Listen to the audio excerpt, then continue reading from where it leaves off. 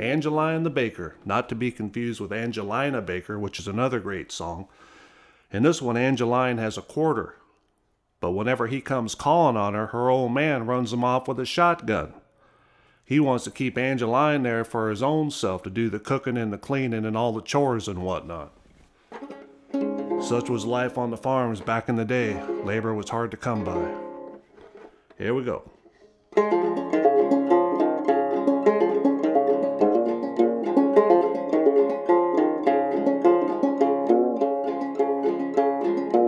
Angeline the baker lived in Village Green. The way I always loved her beats all you ever seen.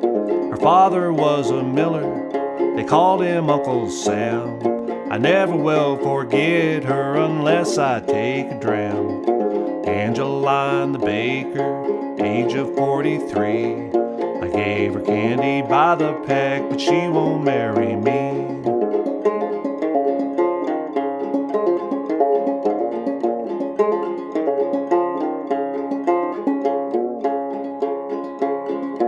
Angelina's handsome, Angelina's tall. They say she sprained her ankle a dancing at the ball. She can't do no hard work because she is not stout.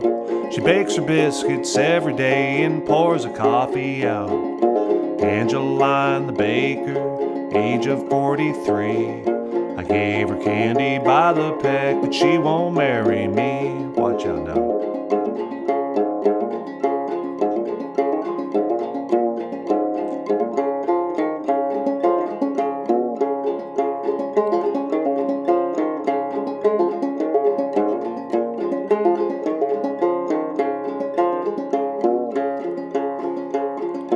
I'll never marry no other gal, no matter where I go. I swore I'd marry Angeline 20 years ago. The last time that I saw her was at the county fair.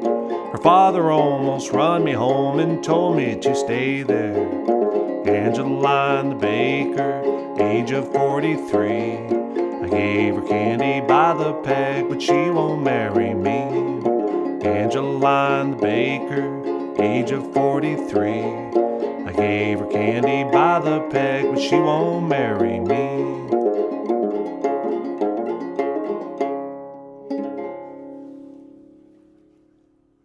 Mm, that and there's called Angeline the Baker, not to be confused with Angelina Baker, which I hope to get around to doing again, good Lord willing, and the creek don't rise. I hope they found a way to elope in that song, you know, maybe one dark moonlit night her suitor came uh, came to her farm and put a ladder up to her window, and Angeline crawled down and jumped on the back of his horse, and they rode off into the moonlight, the dark moonlight, and lived happily ever after. That's what I'm hoping what happened. But it doesn't really say in the song, so it just kind of leaves you wondering, leaves you guessing. Thanks for watching, everybody. Y'all take care now.